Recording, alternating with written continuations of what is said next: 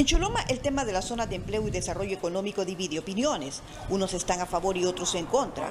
Gustavo Mejía, regidor de la alcaldía, ha presentado una moción donde solicita que se convoque al pueblo a un cabildo abierto a fin de conocer la verdadera realidad de la sede, sobre todo porque en este municipio está en marcha la que se denomina Ciudad Morazán.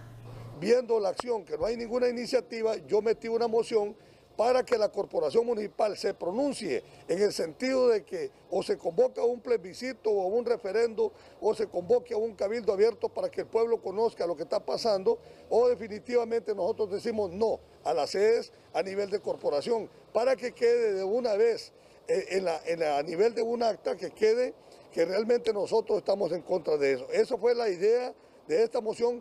Según Mejía, esto atenta contra la autonomía municipal, mientras en la Cámara de Comercio del municipio, la directora de esta institución empresarial dice que esta estrategia ha dado resultado en otros países. Sin embargo, consideran necesario que las reglas estén claras.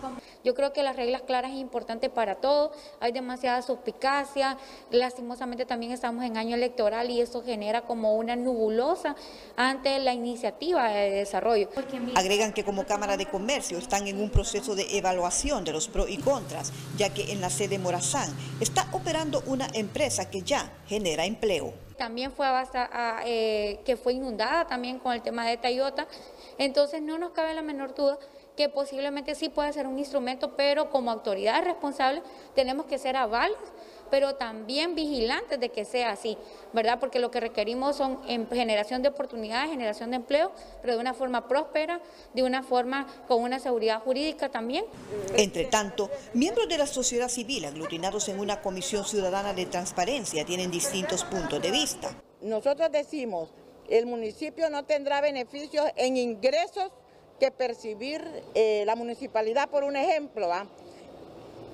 Ustedes ven, toda esa calle fue pavimentada, solo falta esa calle que supongo, no sé si ellos la construirán, pero la preocupación de nosotros es toda esa deforestación que se dio y ellos agarraron parte del río. Si bien es cierto, muchos dicen que han descombrado, pero en el municipio no hay orden siempre en el, merendón, que es donde están las cuencas, están descombrando, hay compañías descombrando y destruyendo, entonces nadie dice nada.